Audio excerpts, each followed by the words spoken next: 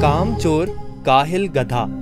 पुराने जमाने की बात है, एक ताजिर था, जो शहर से दूर एक गाँव में रहता था। वो तिजारत के लिए रोज़ाना शहर जाता और मुख्तलिफ़ अशिया की खरीदो फरोख्त किया करता। तिजारत करने के लिए उसके पास एक गधा था। वो गधे पर सामान लाद कर रोज़ाना शहर जाया करता। ताजिर अपने गधे की बहुत अच्छे तरीके से देखभाल करता, उसकी खुराक का बहुत ख्याल रखता। उसे वक्त पर चारा डालता और पानी पिलाता, क्योंकि ताजिर को पता था कि उसकी तिजारत के लिए इस गधे की बहुत ज़रूरत है। गधा बहुत सेहतमंद था। ताजिर बहुत सारा सामान एक साथ गधे पर लाद कर फरोख्त के लिए शहर ले जाता, लेकिन उसका गधा बहुत काम चोर और आलसी था। उसको भागना दौड़ना, खाना पीना बहुत पसंद था।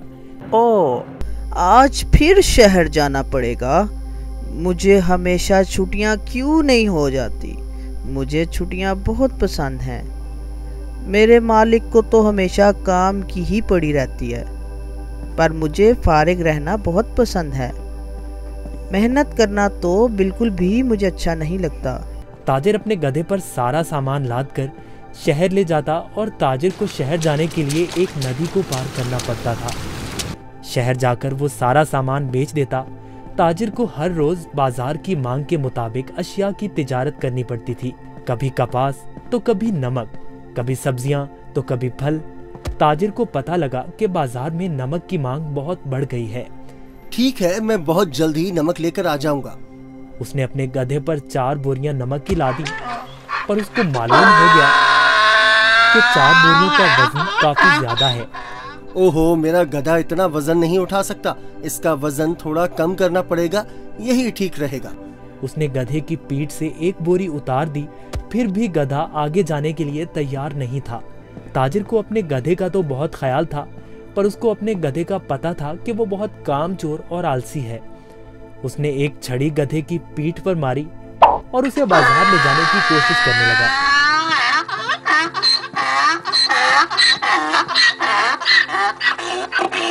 चलो अब मुझे पता है तुम बहुत आलसी हो। तुम्हें शहर जाना बहुत ज़रूरी है क्योंकि बाज़ार में इस वक्त नमक की बहुत मांग है।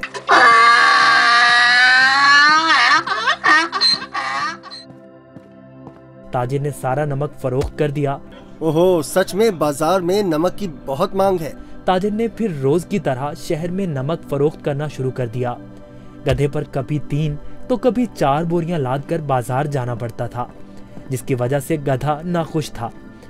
पर वापसी पर गधा बिल्कुल खाली आता और बहुत खुश होता। रोज की तरह ताजिर ने फिर से चार बोरी गधे की पीठ पर ला दी और शहर की तरफ़ निकल पड़ा। जब वो नदी के पास पहुँचा तो उसे पानी ज़्यादा नज़र आया। हमें बहुत ध्यान से आहिस्ता आहिस्ता चलना होगा ताकि हम पानी में कहीं गिर न जाएँ। जैसे ही उन्होंने आधी नदी पार की अचानक गधे का पाँव एक बड़े पत्थर से लगा और गधा फिसल गया और पानी में बैठ गया। ओहो तुमने ये क्या किया? बोरियाँ तो अभी भी मेरी पीठ पर हैं लेकिन मुझे इतना वज़न महसूस नहीं हो रहा। ये एक जादुई नदी है। गधा इस बात से हैरान था कि नदी में फिसलने की वजह से उन बोरियों का सारा नमक नदी में घुल गया था और बोरियों में से नमक खत्म हो चुका था। जिसकी वजह से गधे को वज़न महसूस नहीं हो रहा था क्योंकि बोरियों में नमक बचा ही नहीं था सब खत्म हो चुका था। ओहो मेरी सारी मेहनत जाया हो गई अब मैं शहर जाकर क्या करूँगा? सारा नमक तो बह गया है। शुक्र है खुदा का मेरा गधा तो सही सलामत है। गधे को कुछ नहीं हुआ अब शहर जाने का कोई फ़ायदा नहीं। मुझे अब घर जाना चाहिए। वाह कोई वज़न भी नहीं और काम भी नहीं ये तो कमाल की नदी है। फिर अगले दिन ताजिर ने चार बोरियाँ गधे की पीठ पर लाद दी और शहर की तरफ़ निकल पड़ा।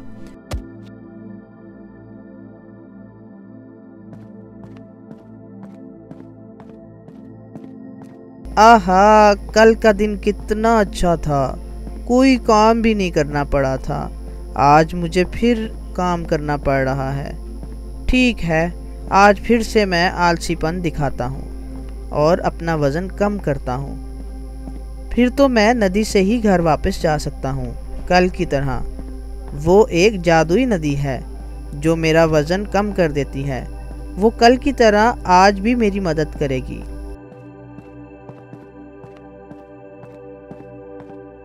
ताजिर उस दिन गधे की चालाकी से बिल्कुल बेखबर था। रोज की तरह ताजिर अपने गधे के साथ इस नदी के पास पहुँचा तो गधा ताजिर से पहले ही इस नदी की तरफ़ जाने लगा। ताजिर ने उसे रोका। रुको रुको। गधा फिर से नदी में फिसल गया जहाँ वो पहली बार फिसला था। ओहो तुमने क्या किया? काहिल गधे जल्दी से बाहर आओ। लेकिन बहुत देर हो चुकी थी। बोरियों का सारा नमक नदी में घुल गया। गधे को अब कोई वज़न महसूस नहीं हो रहा था। वाह ये हुई ना बात। कोई वज़न भी नहीं और काम भी नहीं। ये दोबारा कैसे? जरा सोचता हूँ। ये जानबूझकर मेरे साथ कहीं चालाकी तो नहीं कर रहा। हो, काहिल गधे, मैंने तुम्हारा इतना ख्याल रखा और तुमने मेरे साथ क्या किया? इसे घर वापस ले जाता हूँ। मुझे पता है, अब देखो मैं तुम्हें कैसे सबक सिखाता हूँ। गधे ने सोचा, मैंने काम चोरी का ये अच्छा तरीका ढूंढा है, पर ताजिर का तो आज कुछ और ही जहन था। अगले रोज ताजिर ने गधे की पीठ पर छह बोरियाँ रुई की लाद दी, लेकिन गधे को थोड़ा सा भी वज़न महसूस न हुआ। ओहो इतनी ज़्यादा बोरियाँ। कोई मसला ही नहीं शहर तक जाना किसने है? इस जादुई नदी तक तो जाना है बस। और वो शहर की तरफ़ जाने लगे। जब वो नदी के पास पहुँचे तो अचानक से गधा नदी पार करने लगा और उसी जगह पर फिसला जहाँ वो पहले फिसलता था। ताजिर बाहर खड़ा होकर ये सब मंजर देख रहा था। ओहो ये मेरी पीठ पर इतना वज़न कहाँ से आ गया?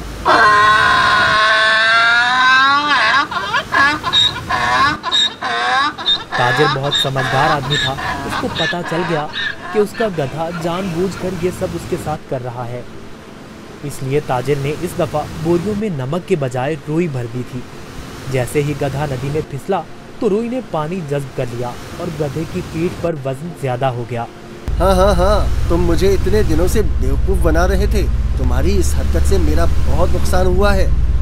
तुम्हें इस बात का अंदाज़ा भी है क्या? अब तुम इसी तरह बोरियों के साथ घर जाओगे।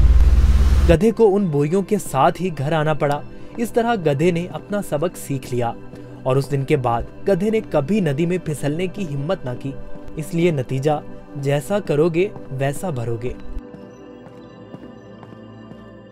अगर आपको हमारी वीडियोस अच्छी लगी हो तो इसको लाइक करें, शेयर करें और हमारे चैनल को सब्सक्राइब करें।